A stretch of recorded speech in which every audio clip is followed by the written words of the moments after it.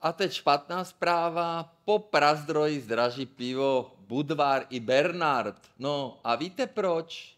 No protože zdražili vstupy, samozřejmě hlavně elektřina. Proto všichni museli zdražit. A tahle vláda vám stále vykládá nesmysly. Mohli zastropovat tu elektřinu už v roce 2022. No takže co tady říká ty, ty výrobci, co říkají? No, ceny obalů, surovin a mzdové náklady, všechno šlo nahoru. Tak logicky, pokud nechce zkrachovat ten výrobce, to musel promítnout. Takže drahší pivo, poděkujte Fialovi a spol. Nejhorší vláda v historii naší země. Vláda národní tragédie. Zlý Fialovi mimo ničí naše životy, ničí naši zemi a ještě nám draží pivo.